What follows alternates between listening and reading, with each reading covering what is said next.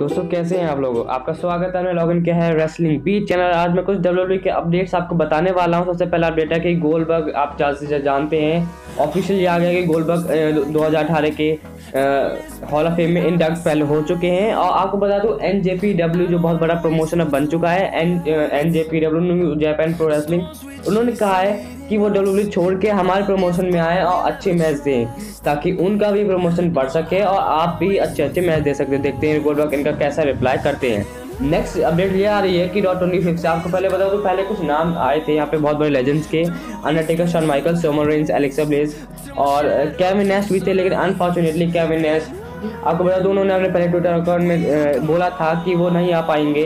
अभी वो अपनी इंजरी कर रहे हैं। तो पहले इंजरी कर रहे थे मीन्स जो उनकी इंजरी थी, उनके वो हॉस्पिटलाइज थे और वो इंजरी ठीक कर रहे थे। लेकिन अब उन्होंने ट्विटर पे ये भेजा है कि वो वहाँ नहीं आ पाएँगे अनफॉर्चुनेटली अपनी इंजरी को लेके। तो देखते हैं इसका क्या इंजाम रहता है twenty fifth twenty fifth anniversary पर। लास्ट अपडेट ये है, जैसे आप जानते हैं रोमन इस पर इंजाम लगा था कि वो स्टीरोड ले रहे हैं तो उन्होंने इस पर रिप्लाई किया है।